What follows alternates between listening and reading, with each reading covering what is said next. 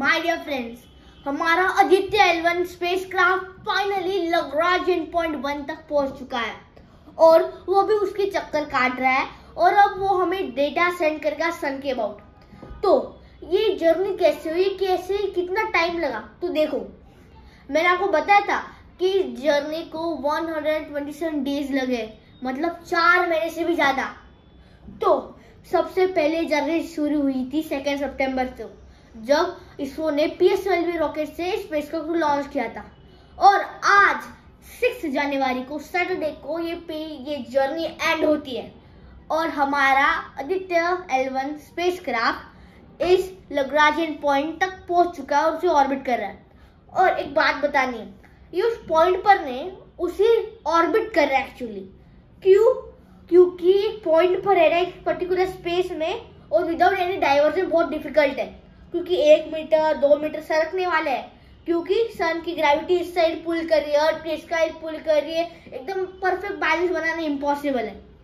तो इसलिए इसरो ने क्लेवर ट्रिक यूज़ करके उसको ऑर्बिट में लगा दिया तो यहाँ पर मैंने थोड़ा सा सिंपली मॉडल बनाए। ये स्केल तक नहीं है। मतलब क्या? एक्चुअली ऐसा नहीं दिखता। ये सर इतना होगा तो एक्चुअली एक दो मीटर उस साइड में होगा। और अर्थ इतनी होगी ना तो एक दो मीटर उस साइड में होगी। और लगराजन पॉइंट यहाँ पर नहीं, वहाँ एक दो मीटर उस साइड पर होगा। तो इमेजिन कितनी बड़ी स्केल है। और आपको ये बात बतानी है, ये डिस्टेंस दिख रहा है? ये पंद्रह लाख किलोमीटर का डिस्टेंस है। और ये डिस्टेंस देख रहे हैं, ये पंद्रह करोड़ का डिस्टेंस है। तो एक्चुअली यहाँ पर नहीं होना चाहिए। ये पॉइंट एक्चुअली यहाँ पर होना चाहिए, क्योंकि पंद्रह लाख किलोमीटर और पंद्रह करोड़ किलोमीटर बहुत डिफरेंस होता है। पंद्रह लाख सिर्फ़ एक परसेंट है पंद्रह करोड़ का। तो लग्राजू में यहाँ नहीं होती यहाँ पर होना चाहिए स्केल के लिए, यहाँ पर इतने पास। तो इमेजिन कि कितनी सन की ग्रेविटी है। तो इसके लिए, इसकी वजह से सन की ग्रेविटी की वजह से ही हमें इस धरती के इतने पास होना पड़ता है। और फिर भी हम सन की इतनी डिटेल में इंफॉर्मेशन ले पाते हैं। तो ये भी बहुत बड़ी बात है।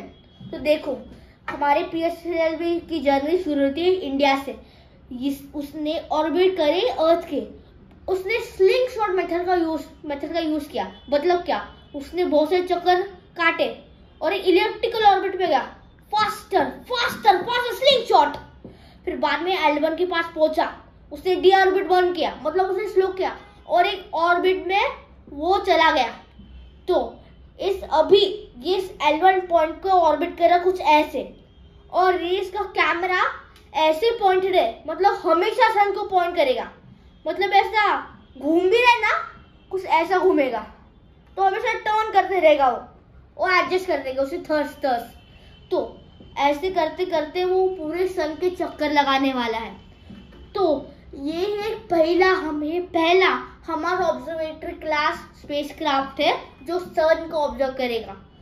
ये इंडिया की एक बड़ी अचीवमेंट है, क्योंकि हमने एक solar based observatory class spacecraft वो भी लग्राजियन पॉइंट वन तक पहुँचाया है, जो हमारे लिए एक बहुत बड़ी अचीवमेंट है। क्योंकि चंद्रयान सिर्फ़ तीन लाख किलोमीटर गया था, पर ये पंद्रह लाख किलोमीटर गया अबाउट फोर टाइम्स इसके वैल्यू के। तो ये बहुत बड़ा डिस्टेंस हमारे पेशल में कवर किया है। तो ये आज का वीडियो और अब हमें पी की वेट करें, आदित्य एलवन डाटा जैसे वो हमें सेंड करेगा, मैं उस पर एक वीडियो बनाने वाला हूँ। और बताऊँगा एक डाटा का मीनिंग क्या है, इससे क्या होगा। और सर सोमनाथ ने एक और एक पॉइंट दिया है कि जल्दी से जल्द हमारा आदित्य एलवन को ये डाटा सेंड करना होगा, क्योंकि जो हमारे यंग साइंटिस्ट थे उनको इस डाटा पर रिसर्च करके नए नई टेक्निक्स निकालनी है। तो thank you for watching this video